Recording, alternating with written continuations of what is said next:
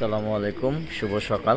Welcome to Halis squad আশা করি সবাই ভালো আছেন। আলহামদুলিল্লাহ, আমরা ভালো আছি। আমার স্কোয়াডের সবাই এখন বলতে ভালো আছে। বৃষ্টির কারণে একটু একটু না, ভালোই প্রবলেম ফেস করলাম। গতকালকে রাতে আইসা এগুলো একাই পরিষ্কার করছি, কিন্তু আর পারতেছি না। এই ট্রেন থেকে ট্রেগুলো সরাই দিছি।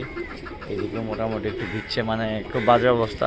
আমি আগে বলছি আসলে খোলার সাথে আমি আসলে ওইভাবে সেট তৈরি করতে পারতেছি না যে কী করব হয়তো এই কারণে আমি একটু বেশি প্রবলেম ফেস করতেছি। বাট এছাড়া আল্লাহ তাল্লাহ রহমত আলহামদুলিল্লাহ খুব ভালো আছি। আমার গাছপালাগুলো, হাঁস, মুরগি, কবুতর সবাই ভালো আছে। কোনো ধরনের কোনো, বড় ধরনের ডিজাস্টার হয়নি। বাট তারপরেও একটু অবসালো একটু একটু অন্যরকম অবস্থা হয়ে আছে সারটা নিজেরই খারাপ লাগে আসলে। তো এই হচ্ছে অবস্থা। এছাড়া অনেকগুলো বাচ্চা ফুটছে, বাচ্চাগুলো বড় হচ্ছে। দোয়া করবেন আমাদের জন্য, আমার স্কোয়ারের জন্য। এখন আবার একটু খাবার গুছাইতে হবে। গতকালকে রাতে অল্প একটু খাবার নিয়ে আসছি, আজকে দিনের জন্য। আজকে দিনে খাবারটা একটু পরিবেশন করব ওদেরকে, একটু গুছাবো। এই হচ্ছে স্কোয়াডের অবস্থা। সবাই আমার স্কোয়াডের জন্য দোয়া করবেন। আমার এই প্রিয় মুরগিটার পাটা ভেঙে গেছে ওই ভিতরে বসে আছে। ওর পাটা ওর পাটা ভেঙে গেছে। ওই যে আছে মহাশয় সুন্দর ফুলছে দেখেন। মাশাল্লাহ মাশাল্লাহ হচ্ছে অবস্থা। শুরু করি। স্কোয়াডের কাজ, আসছে একটু পরে।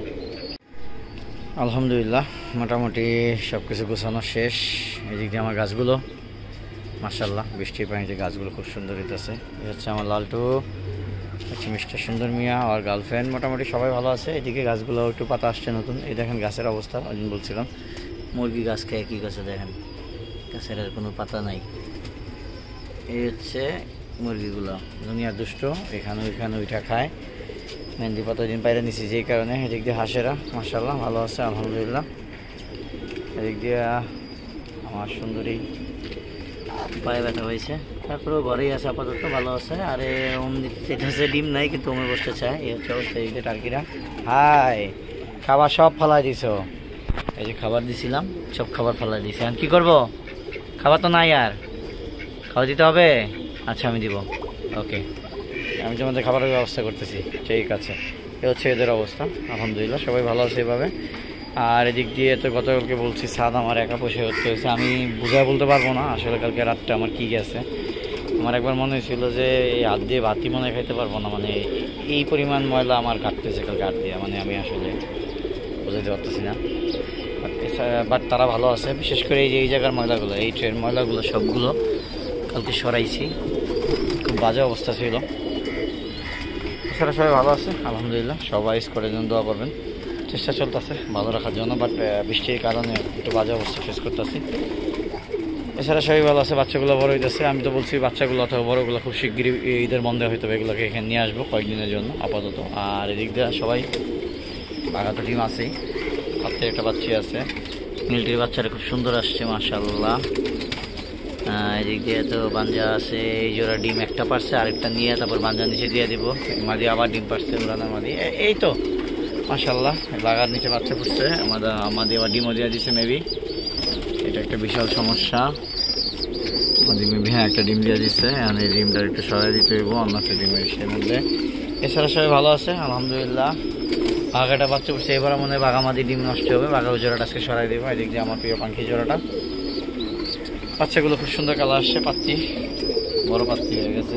পাত্তি মতো কালার আসছে মাসাল্লাহ এগুলো পাত্তি কালার আসবে মায়ের মতো কালার আসতেছে। আর বাপার গঠন তো দুটো মিলে।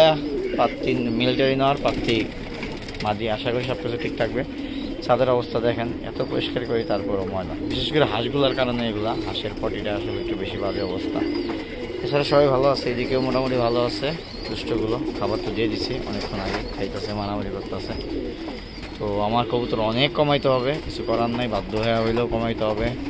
ভালোবাসি, তারপরেও কিছু করার নাই সব কিছু ভুইলা এগুলাকে কিছু কমাইতে হবে। দোয়া করবেন আমার স্কোয়াডের জন্য।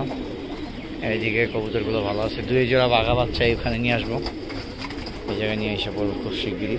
এই খাঁচাটা খালি আছে এই মুহূর্তে। সো এ হচ্ছে আপডেট নতুন বলতে কিছু বাচ্চা ফুটছে, কিছু ডিম আসছে।